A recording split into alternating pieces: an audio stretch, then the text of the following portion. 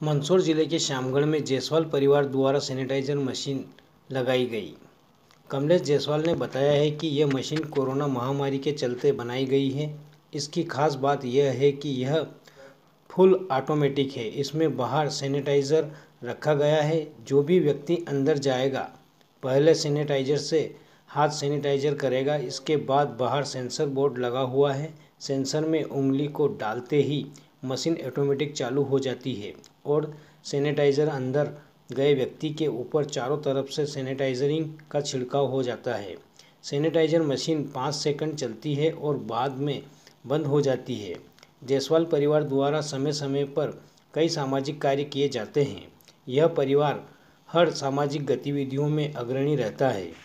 Machine बनाने में एक वर्कर वह सोनू भाई गोयल इलेक्ट्रिक द्वारा फंवारे का सिस्टम और ऑटोमेटिक के लिए जो सेंसर लगाए गए हैं, वह भाग्यश्री इलेक्ट्रॉनिक कृष्णानंद शर्मा द्वारा लगाए गए हैं। यह मशीन शामगढ़ के शासकीय हॉस्पिटल में रखी गई है, जिसे जायसवाल परिवार द्वारा दान किया गया है।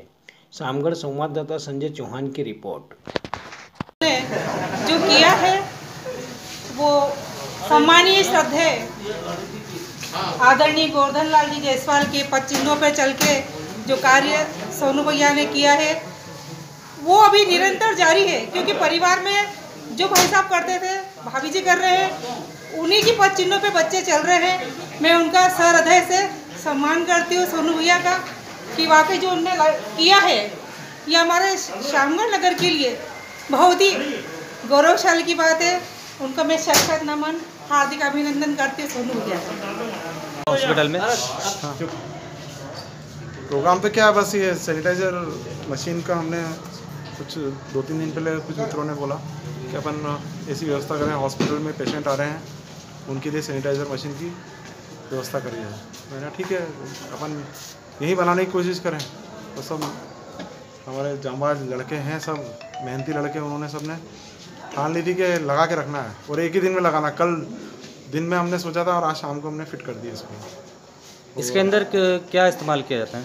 इसमें अभी तो फ़िलहाल हमने सब जो इसकी व्यवस्था ऐसी करी है कि आपको पहले सैनिटाइज़र से हाथ धोना है फिर उसके बाद उसमें एक रिमोट सेंसर हमने सिस्टम किया है जिसमें आप आप अपने फिंगर उसमें वो करोगे उंगली लगाओगे तभी जाके वो चालू होगा और अंदर ऑटोमेटिक उसके फवारे चालू हो जाएँगे जिससे आपकी दवाई पूरे शरीर पे आपके चारों तरफ़ हो जाएगी। आपको एक राउंड लेना उसमें गोल घूम के एक बार और अगले वाले रास्ते से बाहर निकलना है। जो आप वो सीधे अंदर हॉस्पिटल में जा सकते हो उससे। ये सिर्फ़ हॉस्पिटल के लिए बनाई हमने थैंक यू धन्यवाद। चाहूँगी कि जितने भी पुलिस कर्मचारी हैं अपने परिवार को छोड़ करके अपने बीवी बच्चे अपनी फैमिली को छोड़ के हमारी सुरक्षा में खड़े हैं। डॉक्टर्स बेचारे जो अपने घर का खाना छोड़ करके बाहर बैठ के चाय पी रहे हैं हमारे हमारे लिए तत्पर खड़े हैं अपनी जान जोखिम में डाल के खड़े हैं। तो हम उनको हेल्प करें, न कि उनको और परेशान करें और उनको मारने का। जहाँ जा रहे हैं, मैं देख रही हूँ, आज न्यूज़ में देख रही हूँ, इसमें देख रही हूँ वीडियो में देख रही हूँ कि डॉक्टर्स को और उनको पुलिसकर्मियों को मारा जा रहा है।